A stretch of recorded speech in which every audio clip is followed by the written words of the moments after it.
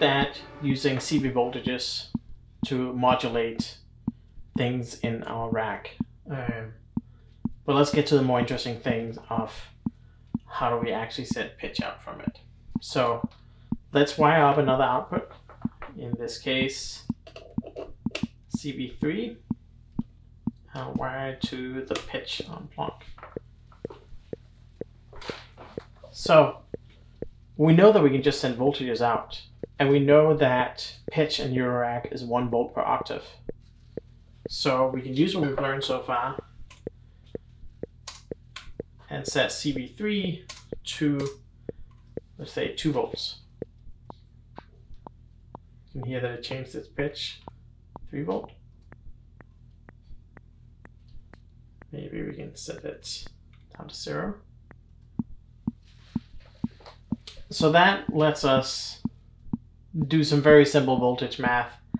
And we know that 12 semitones in an octave, so we could start creating elaborate calculations. So let's say uh, we want to go an octave up, so 12 plus, and then we want, so if we go C, C sharp, so we're going to need voltages divided by, oh, we're going to have to switch to the VV command, right? So we know we want to start at one octave up. And with VV, 100 is 1 volt. And then we're going to have to divide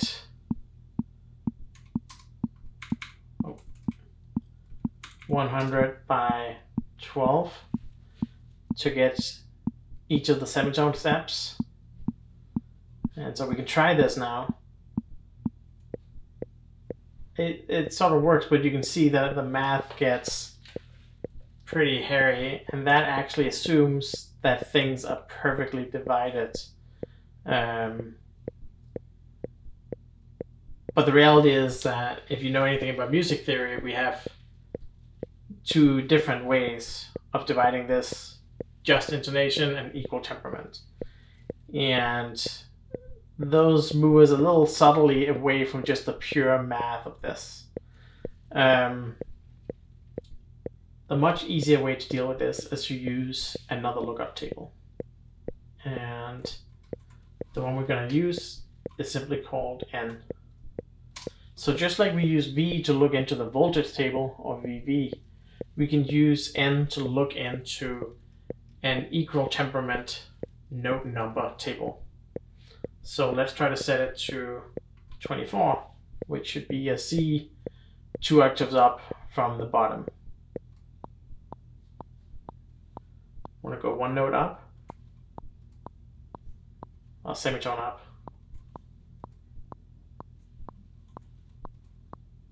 And you can kind of hear that that actually works. Set the decay up a little bit.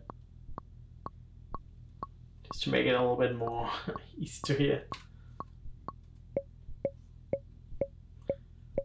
So we can go a full to by jumping two.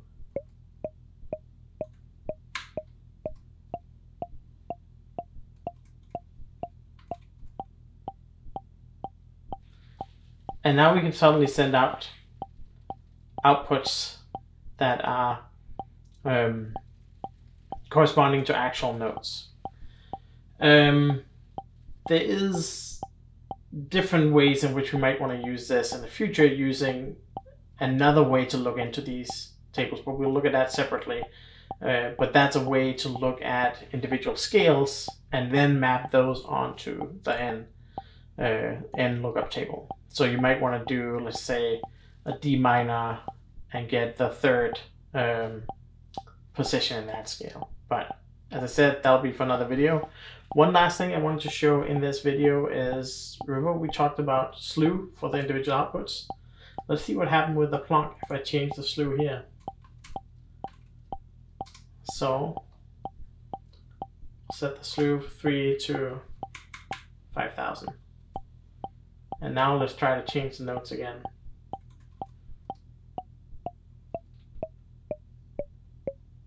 And now we see the, the slew being in place to slowly glide it.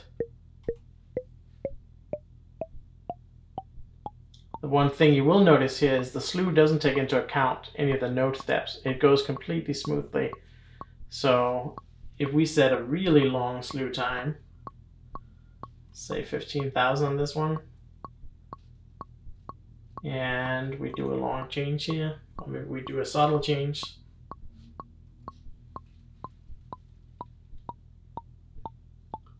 you can hear the pitch is moving slowly, but what you'll notice if, if this is on top of anything else is that these individual pitch intervals are not actually intervals in the Western Western music scales. So they're going to be very dissonant. Um, just something to be aware of when it comes to slew and pitches. Before I forget it, let's set the slew back to zero to zero for output number three. And now we should once again be able to jump between them.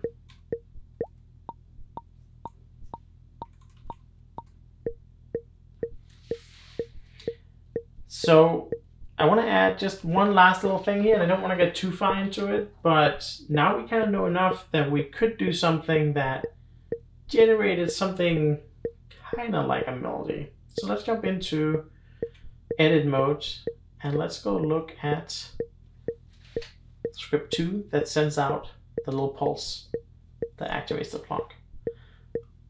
What would happen if we set our uh, our pitch here as well. Um, CV3, and we'll use the N lookup. We'll set it to just 12 for now. So now it's setting its pitch every single time it's being run as well. Change the script. You can see that it's working. So let's uh,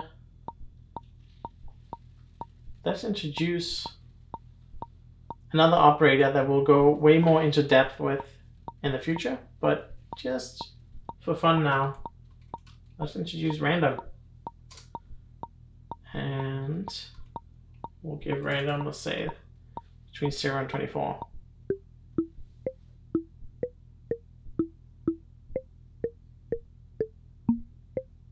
Now it's setting a random value for every note every single time it's hitting, but it's pulling it out of the table of actual Western scale notes. So it is starting to sound a little bit like music, even though it might be all crazy music.